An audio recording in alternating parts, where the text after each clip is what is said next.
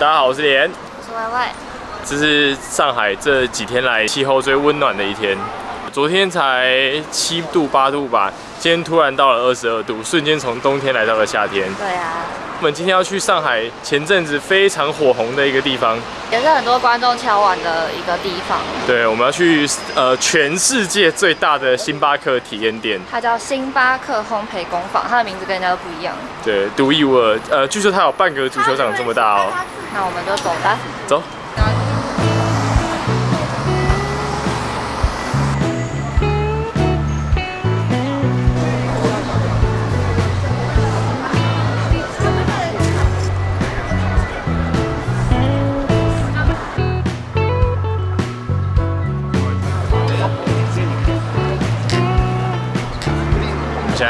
星巴克的门口了，没错。然后我们正在排队，大家都看得出来。因为现在是周末的下午，所以人潮应该是最多的时候。然后他有说每三分钟会放二十个人进去，所以大家如果真的来的话，我觉得还是可以排一下。不过可以想见的是里面会有多拥挤啦。对，不过也不一定很挤，因为它有半个足球场那么大哎。等下等下就知道了。好。排了大概十分钟，哇，专人帮你开门，好爽！哇，真的超大，超大，超大！原地绕一圈也来看有多大，有点不知道该从何逛起。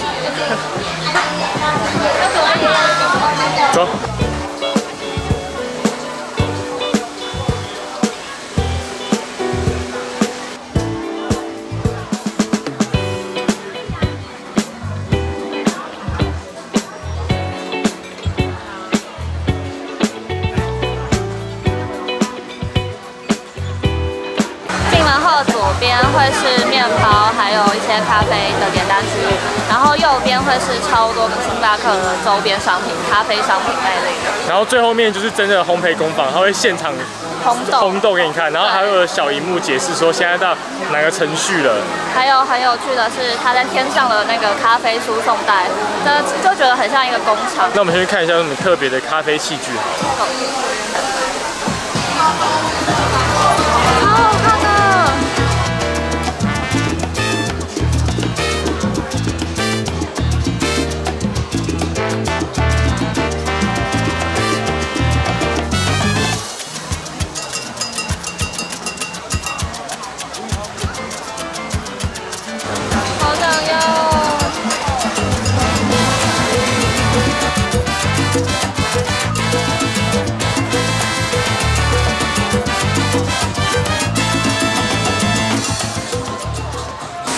逛到一半，然后突然有个人叫住我们说：“哎，你好，我是有关注你们 YouTube 的。”然后是 Oh my god！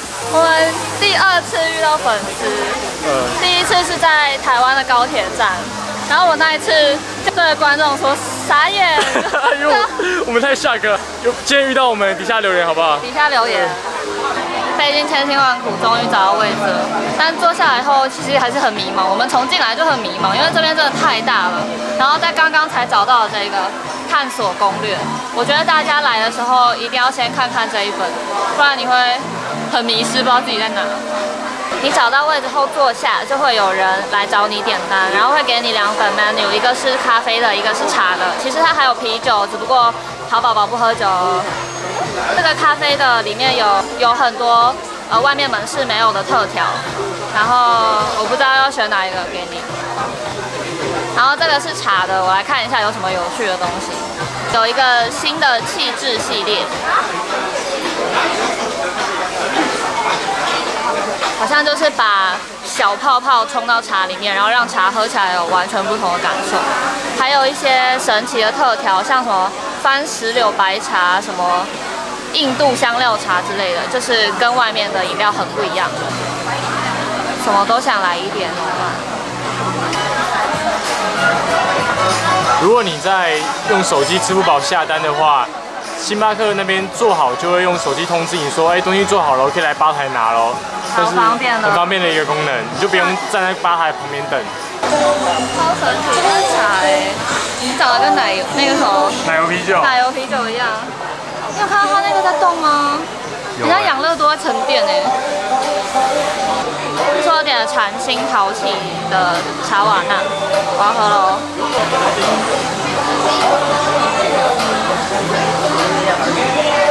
桃子口味的超绵密气泡水，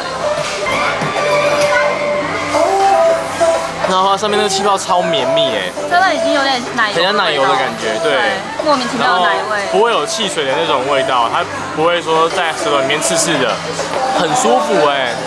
我觉得很好喝，超好喝的，真的。嗯，我喜欢。它已经分层了。对，我喜欢。大家来这家店的话，可以点这个，这是这里的工坊特调，我觉得超棒的，我喜欢。这个气质系列是只有这一家星巴克才有的哦，大家如果有来的话，一定要试试看。你有调甜度冰块吗？没有，它不能调啦。超刚好哎。啊啊！不会太甜。好。而且它没有放冰块。对啊。好舒服哦，可是很贵。这一杯要四十八，跟啤酒是一样的价格。好喝，推荐给大家。这杯叫烟熏丝烤奇拿铁，不知道什么鬼。你有吃过那种咸味的太妃糖吗？没有，不是太妃糖。小时候会有一种糖果，然后是完全就是这个味道。韦特牛奶糖。对，就是它，就是它。是不是超像？很像，像咸的韦特牛奶糖。对，不用放图片了，我已经帮大家解答了。是不是超像？嗯。然后加了一点点咸味。我不是很爱，因为像韦特牛奶糖溶成水，然后加一点咸味。咖啡味很淡很淡。对，可是比较绵密一点。我已经请他帮我用比较苦的咖啡豆来看一下，他用的是格拉维塔综合咖啡豆二零一八典藏版。OK，没有理解，我还是我还是爱茶，茶好喝，超好喝。八块的茶喝吗？超好喝，那你不喝了？这个吗？对啊。这个真的太甜了，完全就是融了十颗维特牛奶糖的味道，太甜了，喝不下去。好了啦，放开它。现在是晚上六点左右，出来的时候发现外面已经没有在排队了。